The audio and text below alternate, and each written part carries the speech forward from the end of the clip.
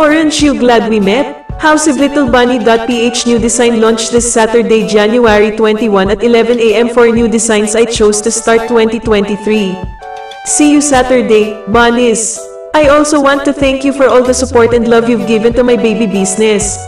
At first, I was very scared about how this would work and I didn't know how to start, but little by little figured everything out, and today, we are now in our fourth month.